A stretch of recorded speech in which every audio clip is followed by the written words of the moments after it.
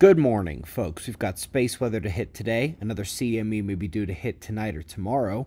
We'll look at some eye candy, seismicity, and a trio of studies on magnetic field impact on insects. But we are starting with the last 24 hours on our star. We took more M class solar flares, but the X class events have died down. Our focus moves to the southern sunspots now. We are inside the coronal hole stream, but it is relatively weak with calming geomagnetic conditions this morning. Let's start a deeper dive by seeing the GOES X-ray flux chart. Flaring has dropped down since the X4 event yesterday morning. There's still a high chance for more eruptions. We still have two large active regions. The northern group, which has made the most flares, is departing now. The southern group, however, continues to gain complexity, which you see here as trailing development begins colliding with the established spots ahead. We'll be watching that one.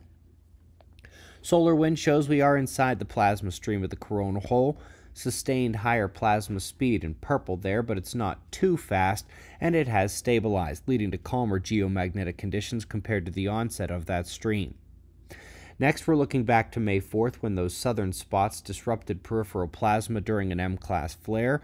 NOAA briefly put it on their Enlil spiral yesterday, but it has now been removed, with impact expected late tonight or early into tomorrow. Now, despite their removal of the event, I do think it's coming.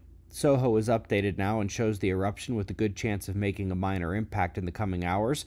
By the way, the bright light you see coming in on the right is Venus, reflecting sunlight brightly as it comes around the far side for a heliocentric opposition with the Earth. That swarm in Hawaii is still ongoing. Still not much in the way of surface activity at the caldera, but the magmatic tremors persist. We'll be watching that as well. Up next, you know, for all the problems with black hole science, I was actually a bit excited to watch NASA's proclaimed visualization of falling into a black hole. I was underwhelmed. To think this could have at least looked cooler, even while residing wholly within the realm of imaginary science, wasn't all that unreasonable. Alas, a letdown. Lastly, here, folks, a trio of studies on magnetic field sensitivity in insects.